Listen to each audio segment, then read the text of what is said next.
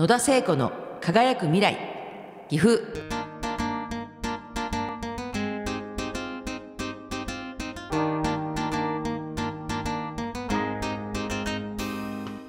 野田聖子の輝く未来。岐阜。FM ワッチパーソナリティの安藤幸です。そして今日もお越しいただいております。岐阜の女子代表として広瀬直美さんです。よろしくお願いいたします。よろしくお願いします。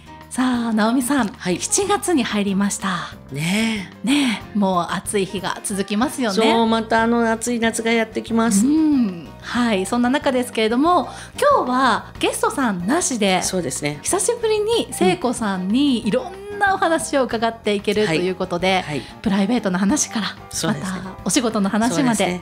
いろんな話が伺えると思いはいます。楽しみですね。はい、では皆さんお楽しみください。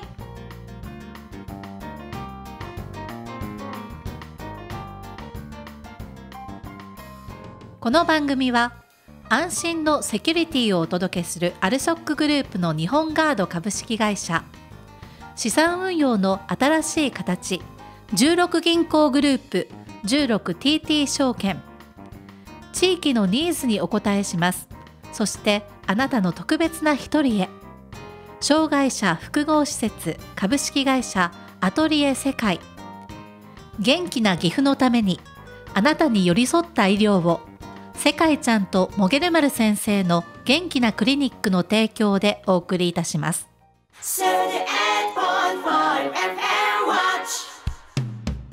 衆議院議員野田聖子さんです。よろしくお願いいたします。よろしくお願いします。さあ聖子さん今回は6月の後半にね収録をさせていただいております。はい。はい。今聖子さんどうですか？お忙しいですか？そうなんです。あの世間一般の人は国会議員は国会が閉会すると休みっていうイメージがあるんですけど、あの他党のことはわからないんですけど、はい。私は今自民党っていう与党の立場の一員としてはもうすでに来年度のその国づくりのはい、基本っていう予算、まあその前提が骨太っていうまあ計画書みたいなもの。はい。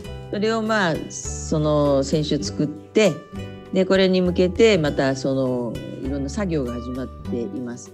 例えばこの間アミナさんが来てはい。あのー皆さんと情報を共有したフェムテックっていうええ。新しい領域、はい。あれを骨太にねじ込むことができましてね。素晴らしい。これはすごく大きくてやっぱり国の一部になっていくのでえ。その例えばフェムテックに携わっている人たち、まあ、企業を優遇したりとか、まあ、邪魔になっている法律を改正したりとか、うん。まあ、規制をかけたり緩めたりっていうことがその優先順位が高まるわけでターゲットはほぼ女性なんではい。生理妊活不妊更年期と。だからこれがきちっと進めば本当に経済的っていうよりもその身体的な女性の活躍っていうのが進むと思うんでええ今だからそういう作業とかはい例えばあの前の国会で成立した不妊治療の法律ありますよね。はいこれであのペンディング保留事項っていうのがあある。ええ例えば出自を知る権利をどうするか。うん精子提供されたり卵子提供されたりした子どもたちっていうのはこれまでは法律がなかったんでまあなんていうの黙ってるっていうか、うん親の都合で出自を言わなくてもはい。いいんだけどこれからはちゃんとその子どもの権利としてね自分の出自があのしっかり分かるような国にしようということで、まあ、さっきまで会議をしていました。ああでね。今日はこれからまたずっと、あの祖父の時代からあの一緒に仕事をしている不動産関係の人がいらしたり、ええ。あと NPO 法人のあの女性のリーダーたちがいらしたり線路は続くよじゃない どこまでも。は続くよどこまでも。本当そうですね。なんかいろんなものが重なり合ってどんどんどんどんと進んでいっているので、もう休む暇がないですね。だから国会議員の仕事ってやっぱりちゃんと理解されてなくてええ。国会議員っていうのはそもそも法律を作る仕事はい。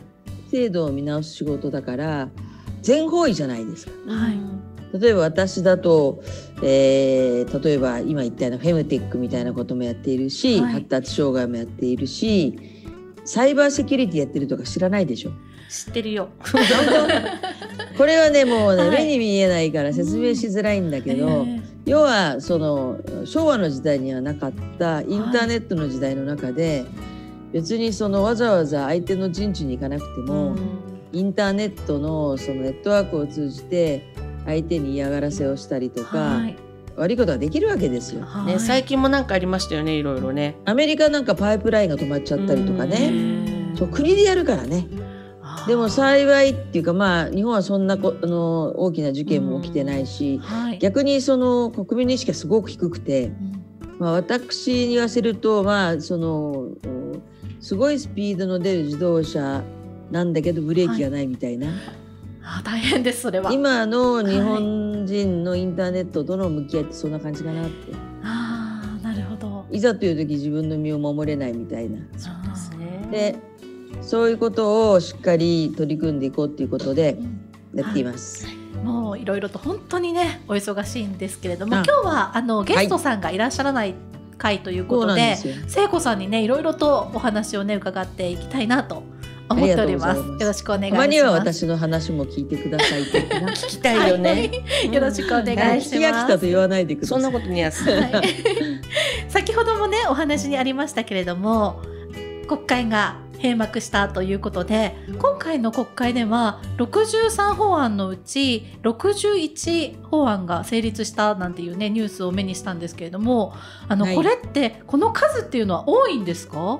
多い時は100とかいくのかな。でもそのその中身にもよるんで、世の中をはい。ガラッと変えるような法律っていうのははい。すごく時間もかかるし、ででもあの改正法案みたいなのは割とこう技術的だったりするんで早く上がるんで、まあでもその何本かとか何パーセントっていうのはあんまりその大切なことではないなと。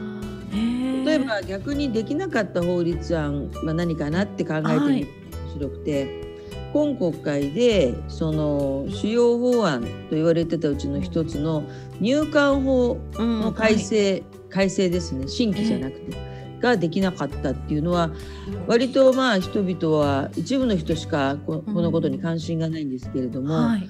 すごく日本の近未来をどうするかっていうことにまあ影響するっていうかね、うんそんな感じがするんですよね。ああそうなんですね。なんか私本当に勉強不足なんですけれども、いえいえ。あのこの数をね聞くとあこんなに法律って変わったりとか成立するんだってね、思ったんですけどあの今回はコロナのこともあって多少そういったことで多かったりとかっていうこともあったんですか？どうでしょう。私も今その全ての委員会を網羅してないんですけれども、そういう部分もありますよね。特別特例を出すそあのー平時ではないので、はい。このコロナ禍のそのさまざまな困窮していることに対して特例的に法律を改正することもありますけど、はい。まあ、私はどちらかというと議員立法を一筋でやってきているので、まあ、幸い今国会は、まあ、自分が長年手掛けてきたはい。法律案が成立したなっていう思いがありますね。あーなるほど、うん。今回はですねあのそんな聖子さんが携わっていらっしゃいました、医療的ケア児およびその家庭に対する支援に関する法律についてねお話を伺っていこうかなと思います。ありがとうございます。なおさんはい。医療的ケア児ってねうん言葉って最近ですよね。そうだよね最近できた言葉っていうか知った言葉だし、ええ私もあの聖子さんの息子さんの正樹くんと出会って、うん医療的ケア児について知ったというかはいそれまではなんかご縁がなかったというか、うん知らない世界でしたね。はい、うんこの医療的ケア児っていうのはあのどういったお子さんのことを指すんですかね？あ私が説明、はいあ書いてある。はいかか書いてあるじゃないですか。それしてください。いやいや今手元にバレた。はい、聖子さんご説明いただけますか？まああの医療的ケア児っていうのは新しい言葉です。はい、でえっとうちの息子はまさに医療的ケア児の一人なんだけど、生まれた時には医療的ケア児っていう言葉はなかった。あ、はい、だから病院にいる間はにあの2年3ヶ月入院してたんですけど、はい、その間はまあ病児。病児、うん。病気の子、はい、えだけどその後退院した後この子はどこに類するのかと。はい。いうことで立ち往生したところから、まあ、その関係者と、まあ、あの勉強してはい。まずそのこの子たちを何と呼ぼうかっていうところからええ。始まってきたんですけど、はい。まあ、医療的ケアっていうのはイケアイ行為、はい。要はそのイメージとすると一般的にはその救命救急の ICU みたいなところえでえ呼吸ができなくなって気管切開をして送管をしてはい。管を入れて人工呼吸器でうん。こう OSOS と応援するような形とか、はい。あとは、まあ、今のコロナの患者さんもそうですけど肺を痛めて自発呼吸ができない時に、まあ、人工呼吸器を使ってさらにはその酸素が回らなくなるんではい。その酸素ボンベから酸素を吸入するっていうんですか、ええ。イメージでそういうこととか。あとは当然あの自分でお食事が取れなくなるからはい。あの鼻から入れたり。うん。あとはこう血管から入れたり例えばあのお腹に穴を開けて胃に直接チューブを入れて、まあ、胃ろうっていうんですけど、はい。そういうことをまあするわけですね。ええ。で大昔はそういうのは、まあ、延命治療みたいな形はい。使われてたんですけれども最近はそういう例えば低体重児の子とか、はい。まあ、いろいろな遺伝子の病気を持って、まあ、自力でこう生命を維持できない子とか、そういう子にもう生まれてすぐに装着することによって、まあ、そういうサポートがあって成長することができるっていう、まあ、例がいっぱい出てきたわけですね。はいで10年前うちの息子が生まれた時もまさに、まあ、仮死状態で。えもう息もできなければ何もできない子だったんですがそういう医療技術の進歩によって、まあ、あの NICU っていうところで、まあ、生き続けるわけえですよ。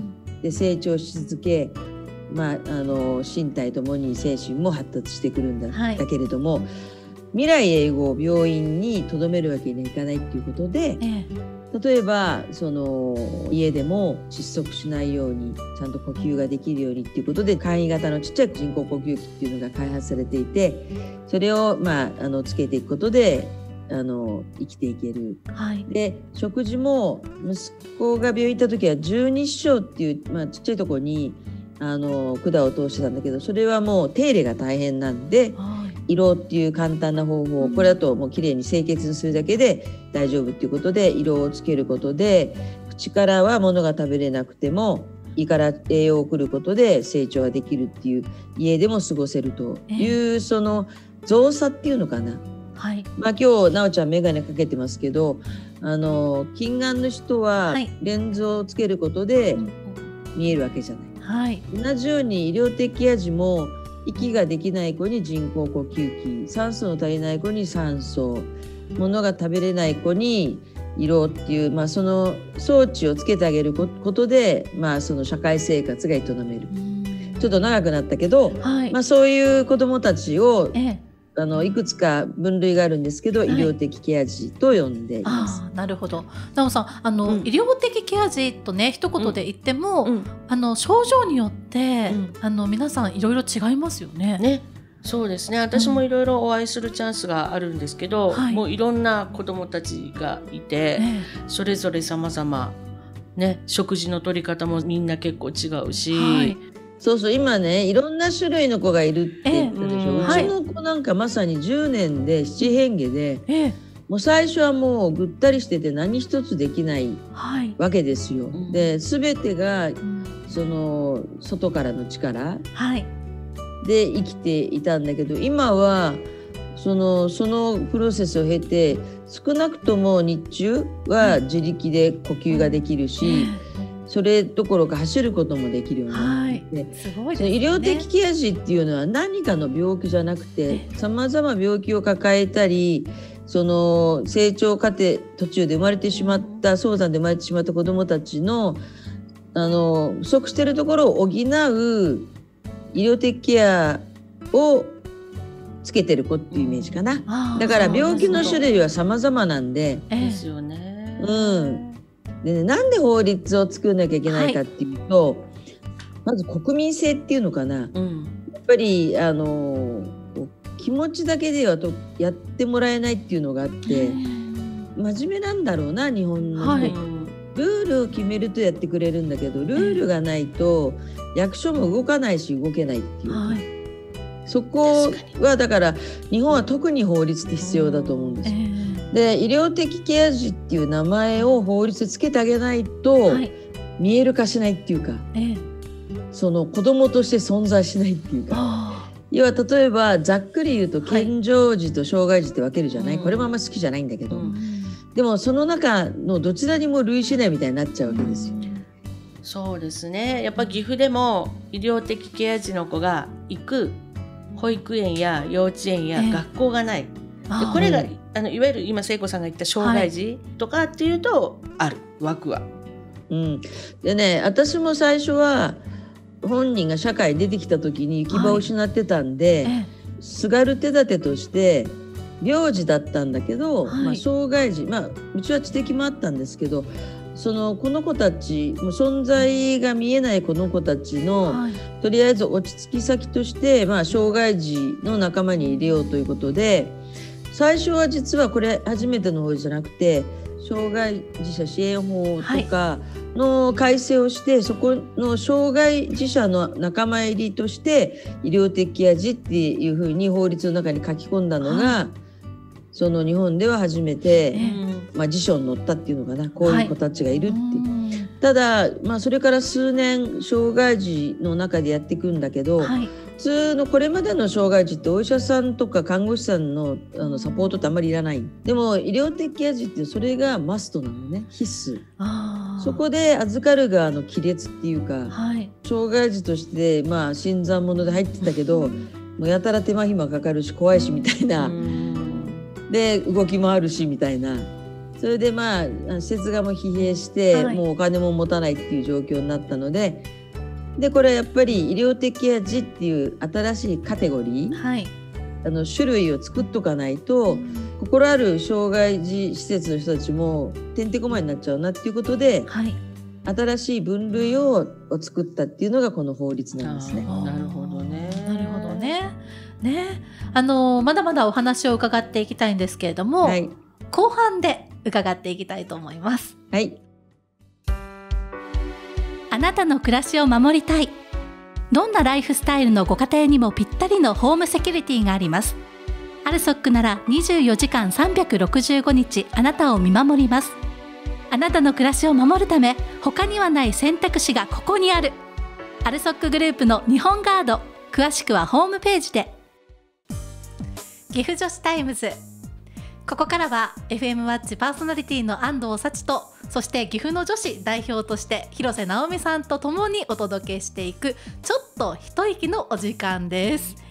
さあ直さん、はい。今日はですね、うん。どんな話をしようかなと思ってね私調べてきたんです、ありがとうございます。7月は女性に関する記念日がありまして、はい。7月の19日なんですけれども、うん。まずですねマッターホルン。北壁登頂の日ということで山登ったんやね。はいそうなんですうん1967年昭和42年のこの日に当時東京女子医科大学のえっ、と山岳部に所属していたねうん。あの今井美智子さんとうん。和歌山よし子さんというね2人の方がうんアルプス山脈の一角のマッターホルンに登ったということなんですね。で女性だけのパーティーとしてはね初の登頂ということで世界でもねこれはねすごくニュースになったんだそうです。すごいことですよね。私金華山も登れないよ。結構大変ですようね。ん金華山もね、あの岐阜にありますけれども、ええいろんなルートがありますので、皆さんにもぜひ。登ってもらいたいなと思うんですけどね。でねこのいあの今井美智子さんっていう方に関しては、1971年うん7月の17日にヨーロッパアルプス三大北壁を制覇したということで世界で最初の女性としてもあの名前が上がっていました。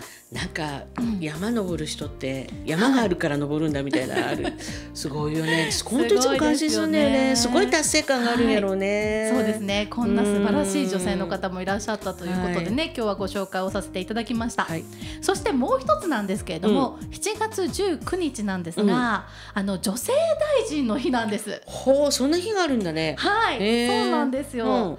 1960年昭和35年のこの日に、うん。あの池田内閣が発足しまして、そこであの中山雅衆議院議員がうん厚生大臣として初入閣されたということなんですねす。っごいその当時はいにしたらすごいことだよね。そうですよね。まあ今もなかなかすごいことだけどね、はい大事になるってね。そうですね。うんはい、あのこの番組の野田聖子さんもね、あの大臣を務められましたよね。よね。はい郵政大臣と、はい総務大臣と、あといろいろ。はい ありました。そうですね はい。うんあの内閣が発足するとね、あのやっぱりねあの集合写真を撮るっていうのがありますあります。階段のとこでね。はいそうですよね、あのお衣装も結構大変だったりするなんて話を聖子さんからもねえちらっと聞きました。なんかこうなやこう一週間とかさ、はい。一ヶ月も前からなるのよって決まってたら、何？衣装も作ったりとかできるけど、ええ。突然なんか二三日前にどうだって言われると、はい。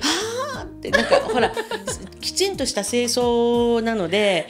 あのね、はい、あのロングドレスロングスカートか、はい。になんかだと大変だよね、普段着ないもんそうですよね。そうだねよね。ね。でもみんなすごい素敵な衣装で毎回。そうなんです。男性はみんな同じモーニング姿そう。ですけれども女性はねやっぱり目立つのでね注目しますよね。ですよね。みんな本当素敵なのをいつもそあれも一つまあ楽しみでもあるかなみたいなね。そうですよね。ありますよね。はい。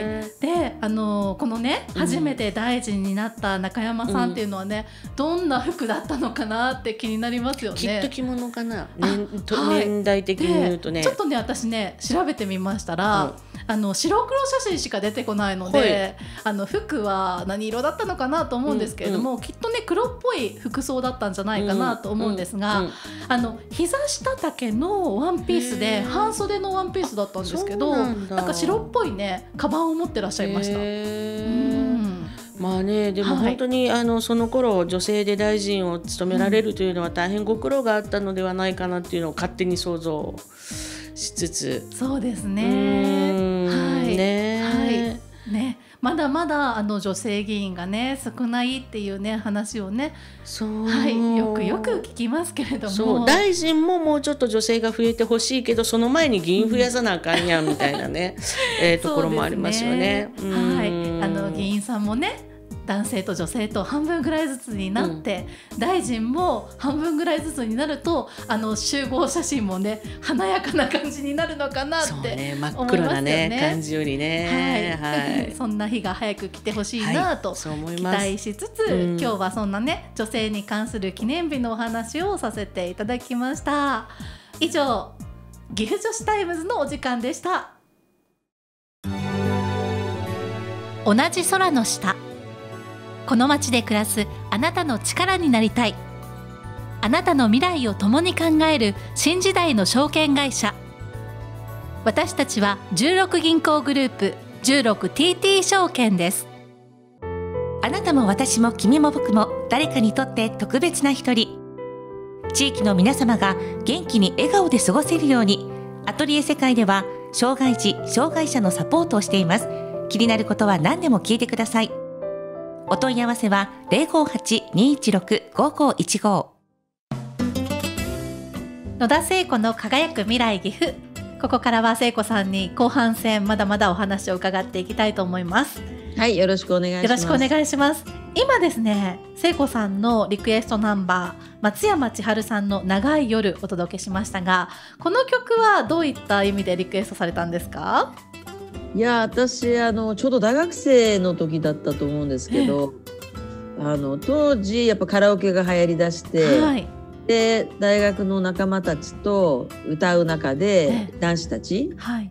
が歌ってくれてすごい好きになって、ええ。この間久しぶりにまた松山千春さんのえテレビで見た時になんか胸がキュンってなったんではい。えーいつまでもあの青春しなきゃと思いつつはい。最近の傾向はねその、恋愛の歌でも、はい。その私の中での対象は全部息子になっちゃうのね。そうなんですね。長い夜を一緒にいたいのは、はい。まあ息子なんだよね。うん。でも息子はもう、外で思いっきり遊んでくるんで、うん。もう8時過ぎぐらいから寝ちゃってはい。もう長い夜は彼の寝顔しか見てなくて。もう帰ってくる頃にはまさきくんは寝てるとそうなんですね。ちょっと切ないわな。うん。切ないね。そうですね。うん。まつげしか見てないの最近まさきくん最近ねあの一人でお出かけもできるようにいやーそれもね吉原市でございまして、ただねまああのちゃんと約束した時間の10分遅れぐらいに帰ってくるのね。あうんなんでそう貯めるのかなと思うんだけど ドキドキするじゃない。そうですねあと6時に帰ってきなさいよって言うと「ええわかったわかった」って言って出てくわけ。ええだけど6時10分ぐらいに帰ってくるのね。この10分がやっぱ私はねドキドキしちゃうから。するよね心配そうですするよよねねまあ今のところこう、はいちゃんとそれなりに彼なりに約束を守って帰ってきてくるんだけど。なるほどねね行くとねいろんなところで楽しくて発見もたくさんあるんでしょうねそうですきっとね。ねなんかね友達がいるとこ本当かどうかわかんないよ。うんあなんか遅れると友達がとか言って言い訳する。なんかどっかのおじさんみたいじゃないですか。でね友達って名前はって言うと「うーんわからん」とか言ってねうんその名前のわからない友達っているのかなとかまあ、ね。まあそれはそれとしはい、て、成長のたびにねいろんなあの悩みも変わってきますよね。ね。そうですね。はい今回はですね医療的ケア児およびその家族に対する支援に関する法律案のお話を伺っておりますさあ、あの前半は医療的ケア児とはどんなお子さんなんですか？なんていうねお話だったりとかあのまさきくんのお話も交えていろいろとお話を伺ってきましたけれども現在ですねこの医療的ケア児と呼ばれるお子さんはあの非常に多いんですよね。そうですね。まだこれデータががまあその法律がなかったので、はい、あのボランティアでやってもらった数字だけどまあ1万8,000人から9,000人と言われていてただその増え方がすごく急なんですね。はい要は一つは医療が進歩したってこともあって、ねその召される命も維持できるっていう、まあ、あのいい点もあれば実はもう低体重児で出産する子が増えている。えーでそのその先にあるんでやっぱり女性たちがやっぱりその栄養がちょっと足りてないママたちが。はいでなんか日本の悪いとこだけどなんかね痩せなきゃってみんな奈緒ちゃんなんか会うたんびに言うじゃない。それ医者に言われてんだね私ね。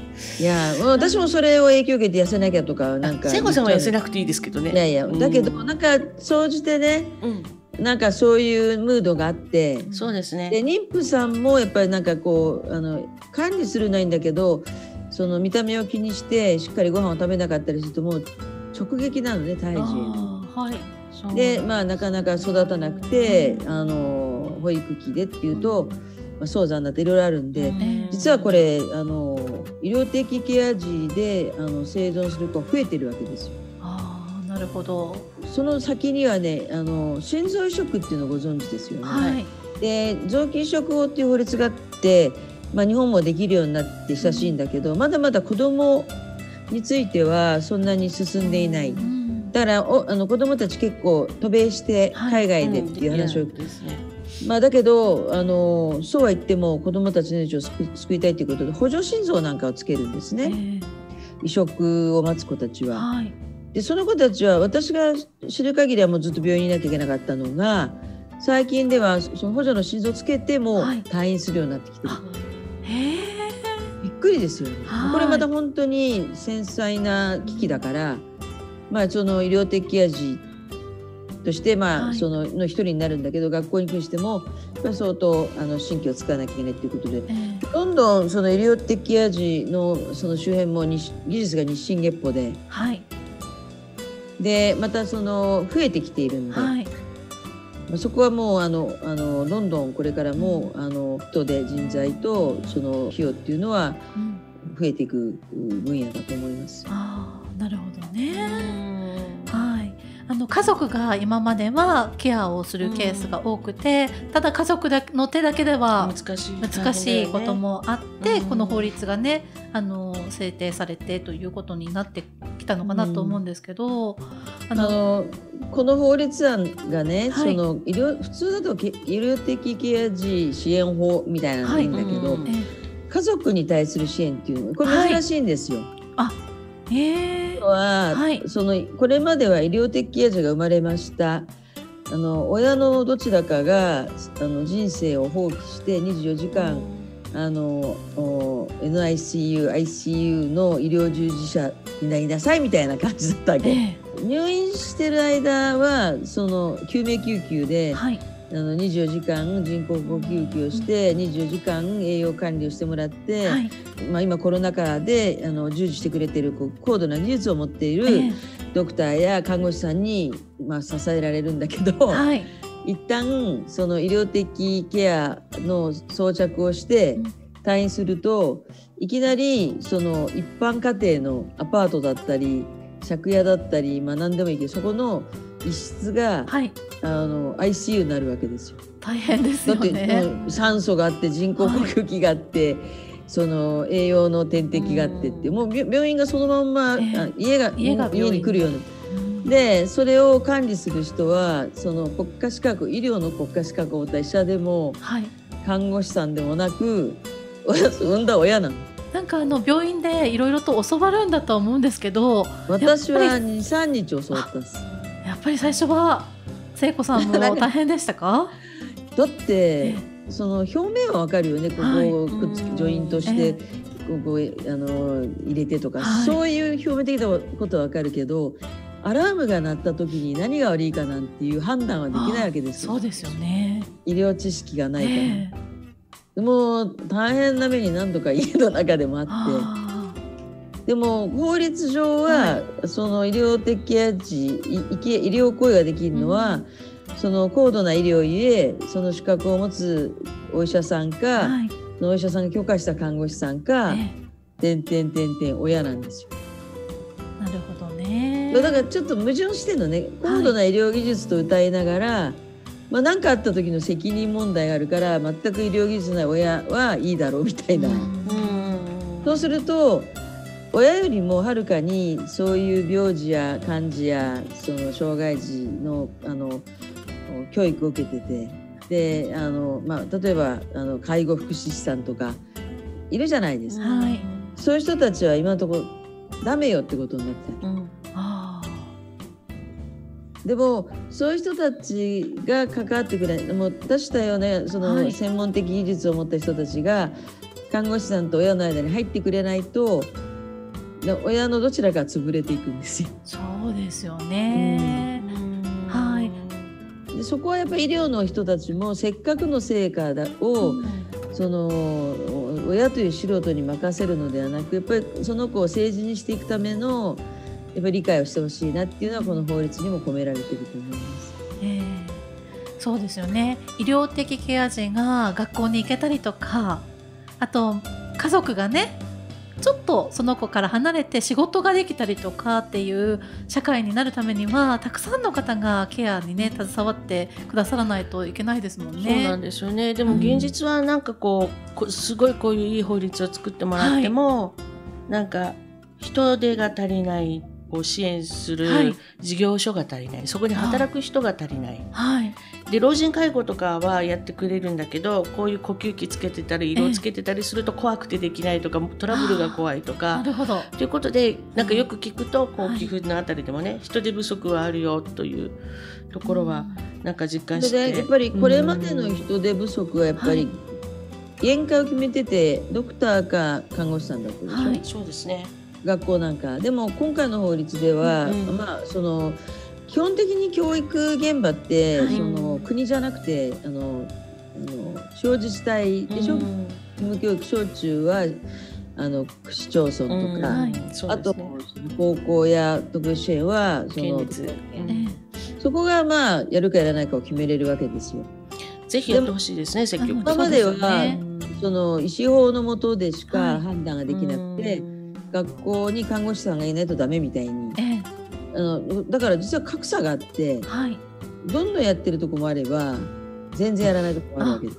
それはもう地方のトップの判断。はい。ねいい判断してくれるとねそうですけどね。そうですね。でね今度法律はね、はい。でもあのいや大事なのはその現場の対応で、ええ。そのあの法律じゃないっていうことで介護はい。福祉等って入れたんですよ。あはい。はいだからあの学校なんかで看護師さんがどうしても調達できないはい。ところは、あの教育現場の判断で介護福祉士はい。または産後あの研修受けたええ。各探求員とかい。はい療ができはるい。あの学校の先生もいます。そうですね。最近で大変嬉しい話で養護教諭ってあの保健師の先生、はい。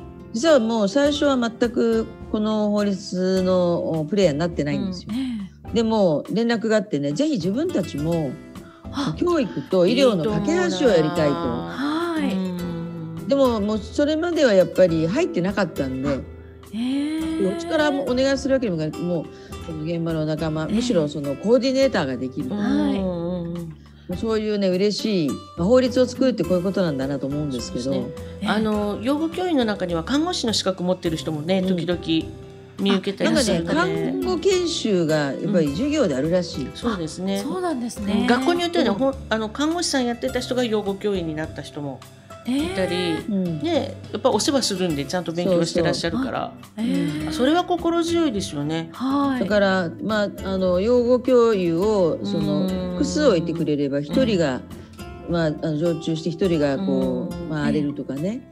それであの大変なんていうの変わると思う学校は。ええそうですよね。あの実際にお父さんお母さんも免許がねあってうん看護師の免許がある人ばっかりではないですからね。あのいや私ないですそうですよね。うん そうだよね。私 そうですよね運転免許しかありません。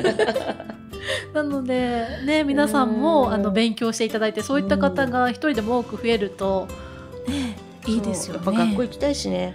そうですね。うんいやね本当にねあの、まあ、自分の家のケーススタディしかないんだけどやっぱり子供は子供で成長するね。あねそうね。うん、あの親といた頃と別人格だから。うんああのまあ必ずしも天使のように育ってはないんだけど あのでもやっぱりやあのその本当に変わったと思う。うんよく喋るようにななったよね。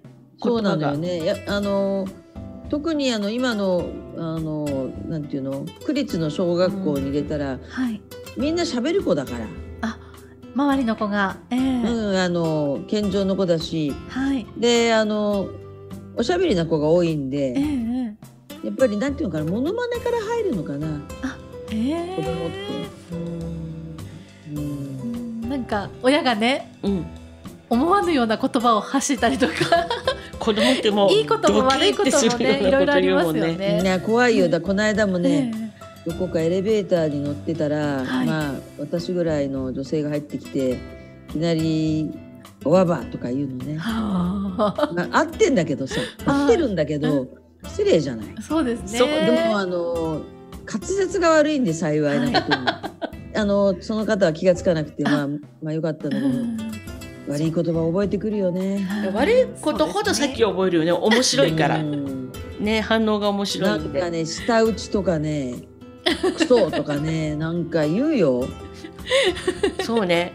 ああの言うね。はい。ね でもまあねそういうね悩みをそれはどの子も抱えられるね。のも、うんあの健康でね元気でいてくれるからだと。もう男の子あるあるで いうこと。ですよね。そうですね。あるある。でもそれもだからうちの子はここに生まれはいているからいける。ここの子はその息子うちの息子よりもあのはるかに知性があって学びたいっていうのにここに住んでるからいけないっていうのは大間違いだと思うのよ。そうね同じ日本に住んでて、うんその格差は辛いね。そうですね。うんまあ義務教育って歌ってる以上ね、そうだよね。国の責任うんただ。ね本当にここはその医療的ケア児の話ではないんだけれども、やっぱり教育は地方分権の推進法みたいなのがあってええ地方に委ねてるんだけどこうそのどうしてもやる気のあるリーダーとないリーダーでやっぱりそこに生まれてきた子どもの教育格差ができるっていうのはこれから少子化でやっぱり一人でも多くの子どもたちを幸せにしなきゃいけない時に平準ができないのね。はい、そこが今ジレンマ。地方もそのすごく大切地方のなんていうか独自性も大事だけど、うん子どもたちがこここに生まれたからあそこの子よりもその学べなかったっていうふうに大人になった時に思わせるのはよくないなっていう。そうですよね、ね、そうですねどこにいても同じように学べる環境があってっていうのがいいですよね。そう少なくともやっぱり小さなうちはね。そうですね。だからわざわざうちの子供に合った教育を受けさせたいからってね。あ転校。転居したりとかする人たちもたまにね、いますもんね。聞いたりしますもんね。そうですね。そんなことしなくてもいいようにね、なるといいね。なるといいですよね。一つねこの法律の中身とは違う、すごくあのお嬉しいことがあって、さっき言ったように、患者さんっていうかその対象児っていうのは庭にをかけるかぐらいなんだけど、この法案を成立させたいって署名活動があったわけ、はい、お母さんたちが。で基本的に医療的ケア児のお母さんって24時間家にいるからその国会に請願とか来れないわけよ。はい、でどうしたかっていうと SNS 上で電子署名を募るわけ。はい、そうするとあっという間にね1ヶ月かそこらであの子供の数を超える2万5千ぐらいの署名が集まるわけ。すごいですね。だから私はこの法律もさることながら、はい、直接国会に出向くのがこれまでのあれじゃない、はい、なんか請願書持ってくるとかなんか署名を持ってくるとかそういうのはよく見るけどあのインターネットの悪いとこばかり言うけどこうやって動きの取れないでも子どものために必死になるお母さんたちの声が SNS によって、まあ、しっかりその結果を出せたっていうのはすごく嬉しかったと思います。そうですねだからただでさえ血のみ子を抱えてたら外とか行けないし社会の活動に参加できないじゃない。で特に今回は24時間ケアしなきゃいけない子どもたちのママだから、はい、もうそ外で何かなんてできないわけよ。うん、そうですよね署名活動を家の中で子どもをその見ながらいわゆる NICU の中でね、はい、やってくれたっていうことにすごくこうなんか熱いものを感じた。そうですね、うん、えー、そんな思いがね込められてのこの法律ですからなんか有効にね、はい、あの今後進んでいくといいですね。はいよろしくお願いします。はい今日もお話を伺いました。野田聖子さんでしたありがとうございましたありがとうございます。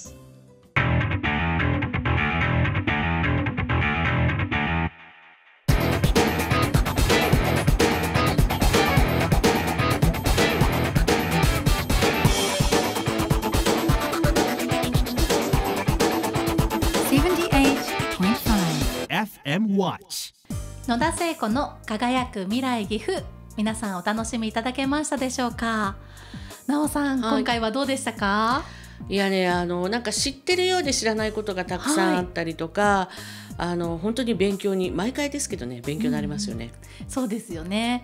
実際に、うん、なおさんのね周りにも、うん、あの医療がね医療のケアが必要なお子さんをお持ちのね、はい、親御さんもたくさんいらっしゃいますよね。そういっぱいいるんですよね、だから本当にいつもそういう人たちの話を聞きながら、少しでもこういい形でね、はい、過ごし、えー、こう幸せに生活してくれたらいいなっていう、まあそれに一歩近づけたのかなという気がしましたね。ね。まずは法律ができたということでね本当に喜ばしいことでありますし、はい、この法律をもとにね、はい、この行政の皆さんにもいろいろとね、うん、頑張っていただきはい、頑張っていただいて、はい、あの少しでもそういった医療、うんね、あの医療のねケアが必要なお子さんだったりとか、うん、家族の皆さんがあの普通にそうそう。一般の人と同じように生活ができるようなね、うん、世の中が来るといいですよね。そして私たちも理解をしていく、はい、そうですね。と、いうことも必要だと思います、はい、そうですね。今日も本当にねためのためになるお話を伺うことができました、はい次回はどんなお話を伺うことができるんでしょうかね、はい、こちらも楽しみですね。皆さん今回も聞いてくださり本当にありがとうございました。この番組は安心のセキュリティをお届けするアルソックグループの日本ガード株式会社。資産運用の新しい形。16銀行グループ。16TT 証券。地域のニーズにお応えします。そしてあなたの特別な一人へ。障害者複合施設。株式会社。アトリエ世界。元気な岐阜のために。あなたに寄り添った医療を。世界ちゃんとモゲルマル先生の元気なクリニックの提供でお送りしました。